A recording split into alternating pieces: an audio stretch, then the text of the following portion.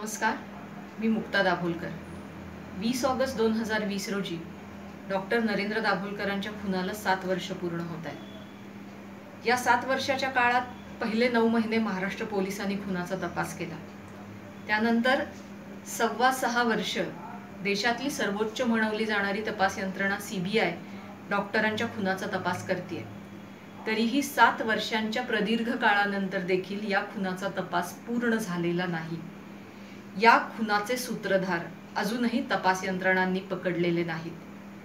डॉक्टरांच्या खुनानंतर तशाच पद्धतीने कॉम्रेड पानसरे प्राध्यापक कलबुर्गी आणि पत्रकार गौरी लंकेश यांचा देखील खून झाला. या चारही खुनांमध्ये दोन समान शस्त्र वापरली आहेत. तसेच या चारही खुनांमधील काही संशयित आरोपी ज्यांच्यावर आरोपपत्र दाखल झालेलं आहे ते देखील समान आहेत.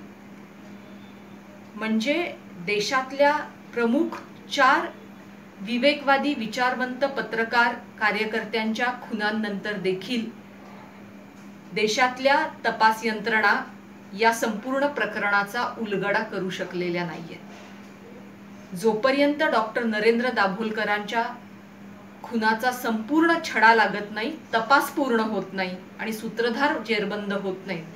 तोपर्यंत भारतातील विवेकवादी विचार करणारा आणि ठामपणे हे विवेकवादी विचार मांडणारा माणूस सुरक्षित आहे असं म्हणता येणार नाही. आणि ही अतिशय गंभीर बाब आहे.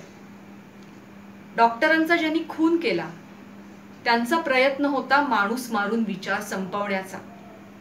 पण महाराष्ट्र अंधश्रद्धा निर्मूलन समितीचे कार्यकर्ते डॉक्टरांच्या खुनाने डगमगले नाही महाराष्ट्र अनिसचे गावोगावचे कार्यकर्ते आपापल्या ठिकाणी पाय रोवून हे काम अधिक जोमानं करत राहिले.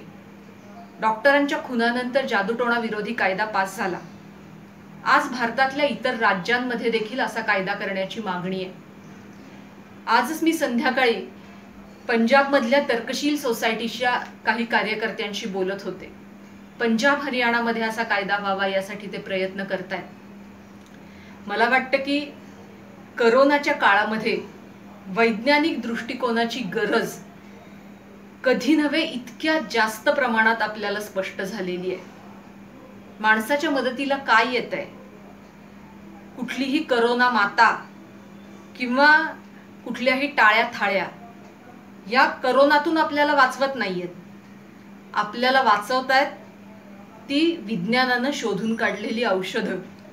आणि आपल्याला वाचवतायत त्या सरकारच्या काही सक्षम यंत्रणा की ज्या अधिक सक्षम होण्याची गरज देखील आपल्याला जाणवते त्यामुळे वैज्ञानिक दृष्टिकोनाच्या मार्गाची अनिवार्यता ही या करोनाच्या संकटाने पुन्हा एकदा आपल्या सर्वांसमोर आणून ठेवली आहे मला असं वाटतं की या वीस ऑगस्टच्या निमित्ताने डॉक्टर नरेंद्र दाभोलकरांना अभिवादन करताना आपण परत एकदा या वैज्ञानिक दृष्टिकोनाची कास धरण्याचा संकल्प करूया आणि लवकरात लवकर डॉक्टर दाभोलकरांच्या खुनाचा तपास पूर्ण होईल. या खुनाचे सूत्रधार पकडले जातील अशी या शासनाकडून मागणी करूया. धन्यवाद.